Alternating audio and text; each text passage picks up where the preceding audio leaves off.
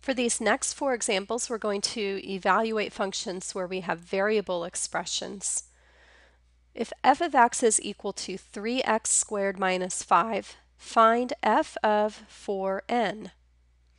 This time we want to change all of the x's in the function to 4n's. So f of 4n instead of 3 times x squared minus 5, we get 3 times something squared minus 5. We switch out the x with the 4n. Well, we have to figure out what 4n squared is. Well, that's just going to break up as 4n times 4n. So I have 3 times 4n times 4n minus 5. Well, that becomes 3 times 16n squared minus 5. And 3 times 16n squared is 48n squared minus 5. These are not like terms, so you cannot subtract and simplify that any further. So this is the final step. f of 4n equals 48n squared minus 5.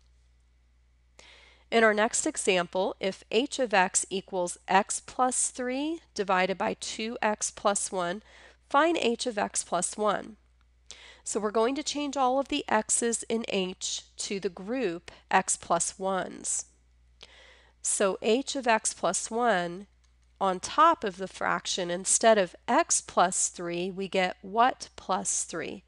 Well, that becomes x plus 1 plus 3 on the denominator, instead of 2 times x plus 1, we have 2 times what plus 1? Well, that becomes 2 times x plus 1 plus 1. Now we do need to simplify, clear any parentheses. So in the numerator, x plus 1 plus 3 is x plus 4.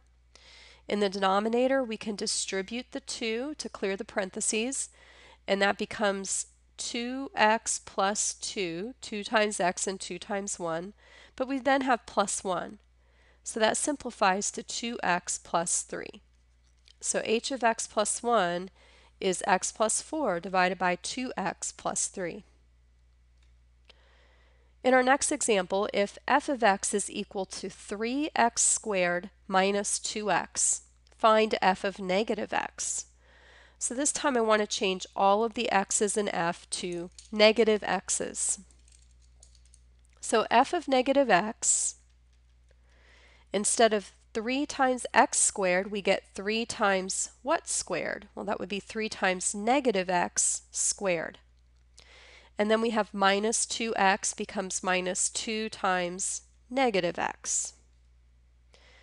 So squaring negative x Negative x squared is negative x times negative x, and that becomes positive x squared. So we have um, 3 times negative x squared is just 3x squared.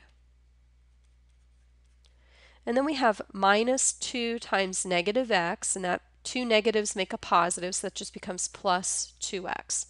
Now these are not like terms. 3x squared plus 2x, you cannot add that or simplify that.